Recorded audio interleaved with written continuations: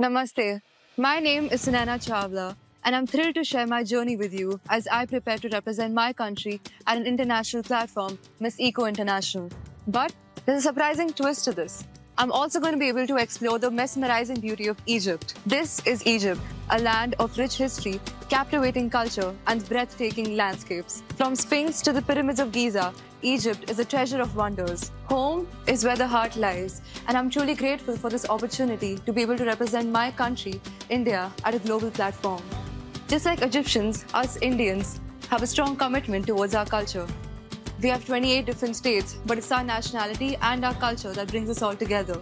And I can't wait to share a glimpse of it with my fellow contestants. A little about myself. I'm from Bangalore, the Silicon Valley of India, where culture meets technology. I'm an engineering student, which has helped bring a lot of discipline and perspective into my life. Modeling and pageantry has always been my passion, and I can gladly say that I'm truly doing everything I can to follow my dreams. Miss Eco International is not just a competition, but a celebration of diversity. And I'm excited not only to compete, but also to learn, share, and grow with all of my fellow contestants from over the world. Thank you.